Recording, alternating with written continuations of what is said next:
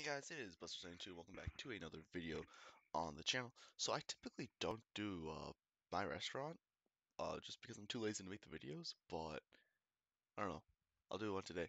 So new update literally came out, I don't know how long ago, but they added YouTuber customers, had a gaming set, new limited items, play button, um, okay, and new theme. So I'm go to the shop, check it out. Let's see if any of the like limited items are sold out yet. Well, that one doesn't look sold out yet.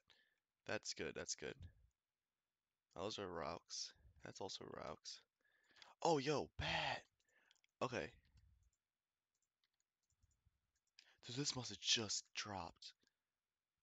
That's sold out? Dang. So the new theme, modern. 700k is new theme.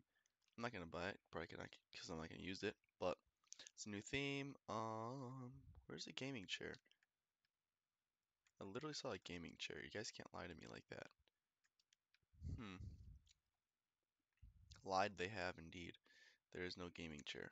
Okay, so that's practically the new thing. I know I haven't done a video on this, but this is the new uh market sell thingy.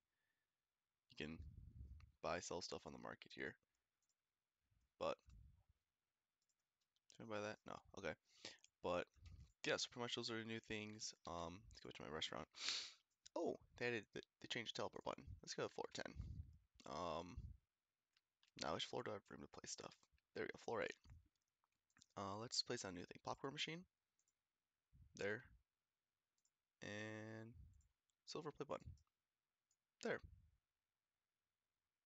So that's it. How much should update, huh? Um, let me see what the popcorn machine does.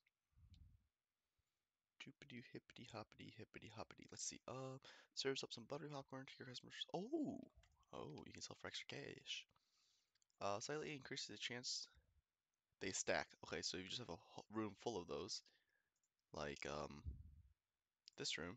Whoopsies, this room. Then I guess you get YouTube customers.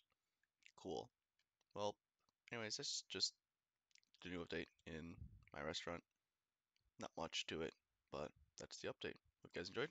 See you next time.